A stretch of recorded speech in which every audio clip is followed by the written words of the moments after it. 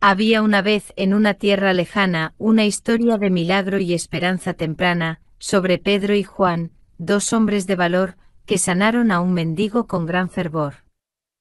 Un día en el templo al pasar por allí, un mendigo cojo les pidió algo de sí, Pedro y Juan lo miraron con compasión, y le dijeron, miradnos, da tu atención.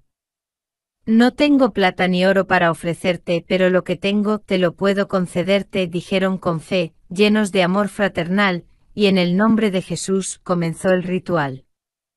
Tomando al mendigo de su mano con cuidado, Pedro le dijo, Levántate en el nombre del amado, y en ese instante el hombre saltó y caminó, un milagro glorioso, la multitud admiró.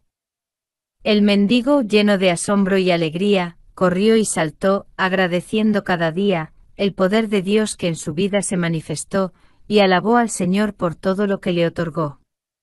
La gente que presenció aquel prodigio, se maravilló y alabó a Dios con regocijo. Pedro y Juan explicaron el poder divino, y cómo Jesús trae sanidad en su camino. Había una vez un milagro deslumbrante que nos enseña que Dios es siempre constante, que los niños comprendan este acto de amor, y confíen en Jesús, el sanador superior.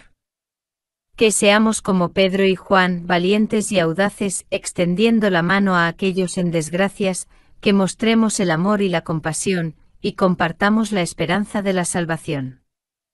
Que los niños entiendan que en Jesús hay poder, para sanar y restaurar, para vencer y crecer, que crean en milagros y en el amor sin igual, y sigan a Jesús, el camino celestial.